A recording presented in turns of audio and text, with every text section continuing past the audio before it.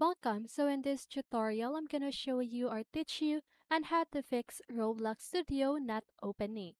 So if you want to know how I did it, just keep on watching. So if you're experiencing this problem, the main reason of that is that you don't have the original Roblox Studio, okay? So what you need to do is to just go ahead and uninstall the Roblox Studio that you have.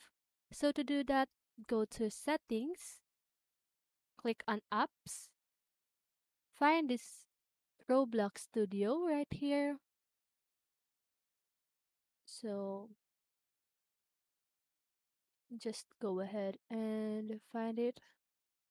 So I can't find it right here. So what I'm gonna do is just go ahead and right click on the Roblox Studio right here. Click on delete. Okay. So now what you need to do is to just go ahead and open your browser and search for Roblox Studio. Okay.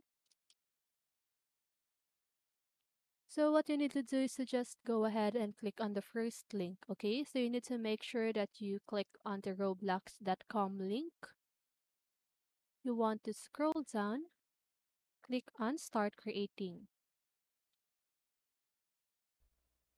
So now what you need to do is to just go ahead and click on the download studio. Okay.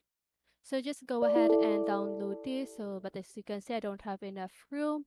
So just go ahead and download this one and open it once it is done downloading. And that should fix your problem, okay?